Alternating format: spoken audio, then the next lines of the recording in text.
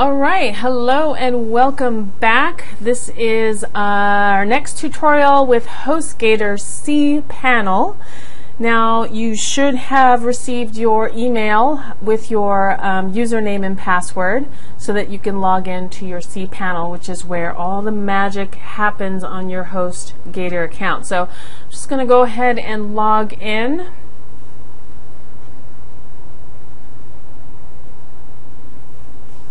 And Padao. This is the HostGator cPanel. Now there's all kinds of things that you can do from here, but the only two things that we want to focus on is we want to get our name servers so that we can put them in our uh, GoDaddy. So make sure you have your GoDaddy uh, account up. In fact, I'm going to go there now and I am going to pull that up. I'm going to sign in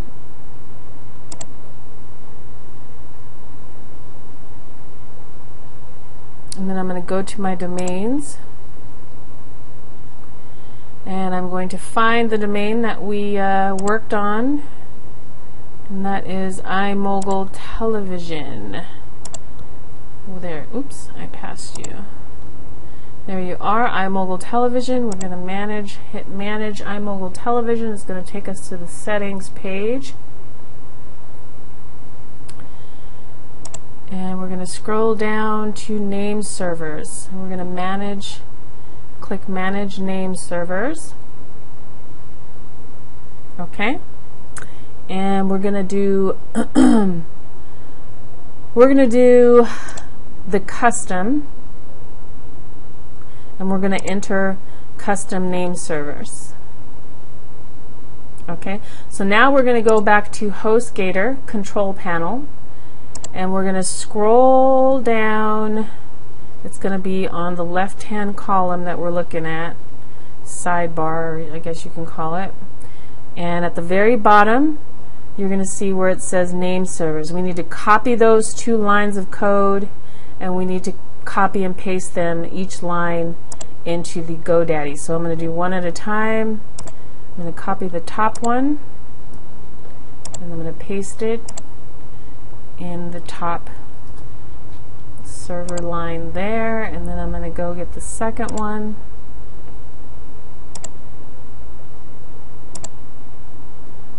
And then I'm going to go back and copy it to GoDaddy.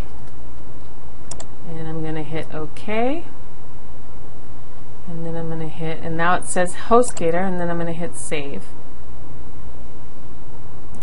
Alright, so the request that shows at the right hand top has been submitted. It's going to take a few minutes for it to take effect. So, what we're going to do now is we're going to create our WordPress. Now, let me go over to WordPress.org so you can see that.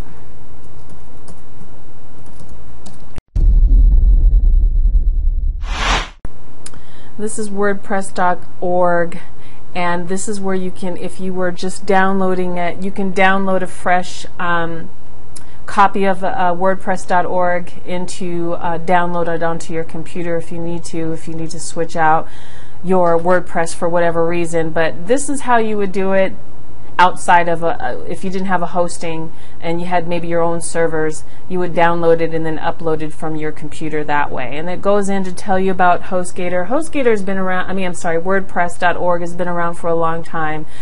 And you own it. Once you, you know, you you get your um, hosting account. This is your online home. It's your online hub, your website, your blog, whatever you want to call it. It's your online hub. That's where you're going to do your activities. That's where you're going to do your blogging. That's where you're going to attract your your um, ideal clientele. You're going to have your branding. This is where you the magic is created. So you don't want to do something like this with a WordPress.com or some blogspot.com. You don't want to host your account. Well, you won't host it because it's free, but you don't own it. You want something that you own, and WordPress.org is the originator. It's been around forever. Um, at least 2006. I'm not sure what the history, 2005, maybe earlier. There's a lot of other new um, apps for blogging apps posting or website apps posting, like um, I think it's uh, Square Peg, or there's all kinds of new ones popping up, and a lot of those are limited on what you can do. With web, WordPress.org, you're not limited. You can do whatever your mind can think of, and that's why I love it. Also, a lot of the plugins, and we'll talk about plugins in a later tutorial a lot of the plugins have been made and designed, all the good stuff have been designed for WordPress.org. And plugins, what plugins do, they're little bits of code that help to add or de design certain things on your web page, on your on your on your blog. And sometimes you want to do something different. You want to add some creativity. You want to add some specialization on your blog. That's what a that's what a plugin does. And a lot of these new systems don't have that option because the since WordPress.org has been around for so long, it's a free um, uh, what do they call it? It's a free community where people can create for WordPress, and they've done that and that's where the plugins have come in. And I love plugins. I mean, I use the hell out of plugins. Um, sometimes it can cause trouble with incompatibility, but it's it's not like it was when I first came on, where you put a plugin that wasn't quite compatible with another plugin, and it broke your whole site, and all hell, all you saw was code, lines of code when you tried to log into your account.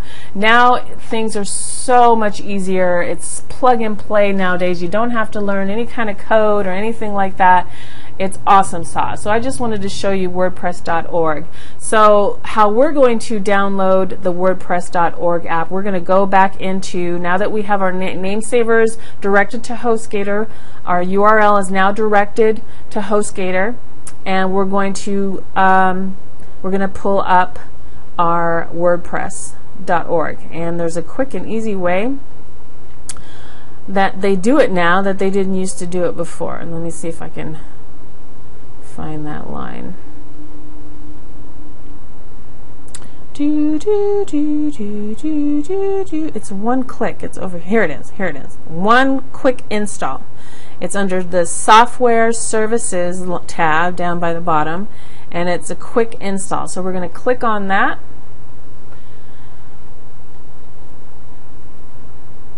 It should just log you in automatically. Let's see if I have to press login anyway.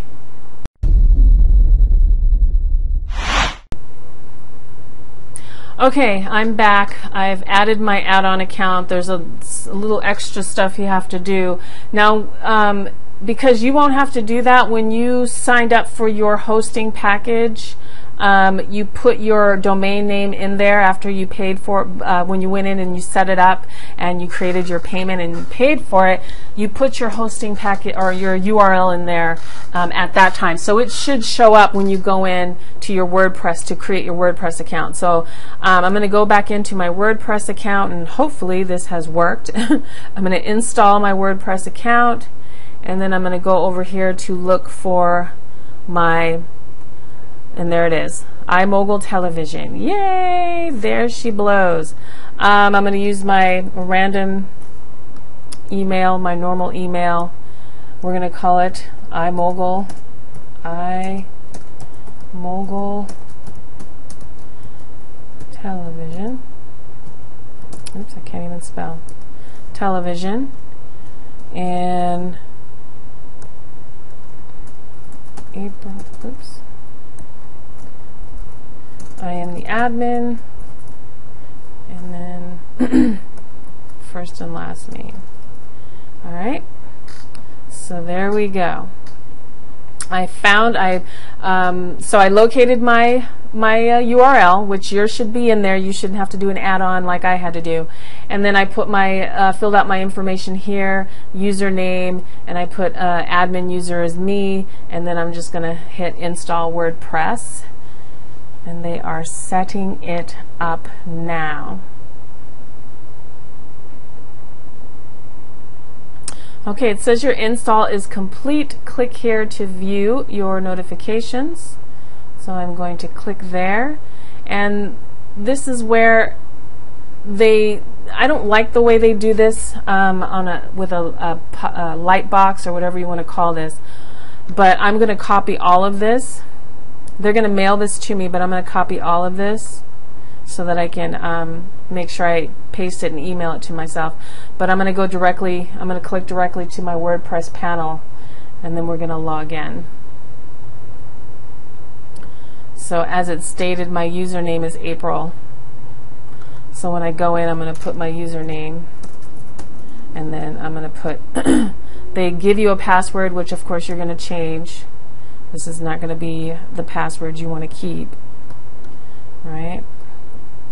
So copy that. And let me just go in and once again copy all of this and paste it in a notepad really quick so that I don't forget. okay,